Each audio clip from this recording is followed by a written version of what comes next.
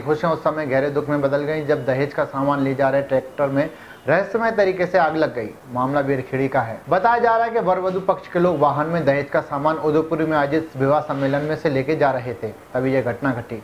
इस आगजनी की घटना में दहेज का सामान जलकर खाक हो गया। इस घटना की जानकारी मिलने पर वर वधु पक्ष के लोगों की खुशियों को जैसे कपूर ही हो गई। दूसरी ओर वधु और अन्य महिलाओं का भी रो रो कर बुरा हाल हो गया यार के कैलेंडर देख जाने बैठे थे यार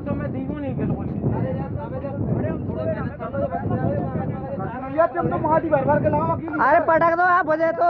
मट्टी भर भर के ले आओ अरे मट्टी भर भर के लाओ जाओ पट्टी पटका जाओ सब कुछ जाएगी बात तो यार।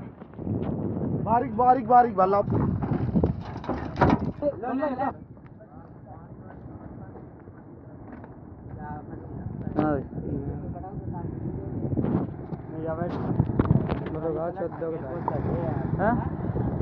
ट्राली पलेट दे जो कर कर उठ जाए तो पूरे तो।